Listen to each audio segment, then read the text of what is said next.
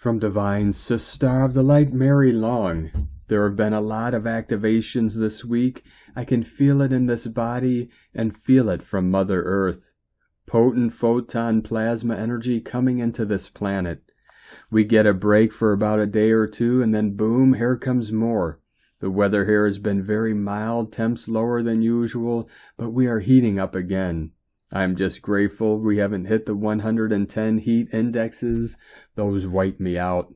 Even the plants are feeling this plasma energy. Some are thriving and others just wilt until they adjust to it, just like our bodies are adjusting. And some days I feel wilted too. All in all, I am so grateful for this journey and so excited to continue creating the new with these amazing energies coming in. Sometimes things just instantly manifest. I have to be careful of my thoughts though, so I am very observant of what is going on in my mind. Sleep patterns seem to shift differently, from barely any sleep to a lot of sleeping. Amazing dreams. Many of us are working in the higher realms, balancing these vibrant energies.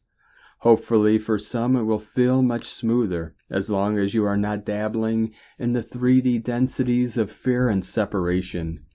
We are all connected in this energy of life, and the more amazing energies we receive, the more we can literally feel how connected we are to it all.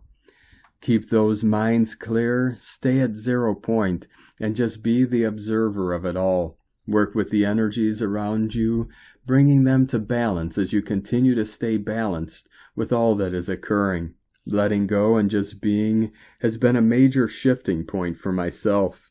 There is peace within us if we just take a moment to connect with our spirits.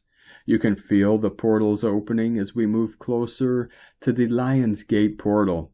Enjoy it. Things will most likely become more tense outside of us, but we must remain at peace and not allow ourselves to be dragged down into the show that is being presented to us.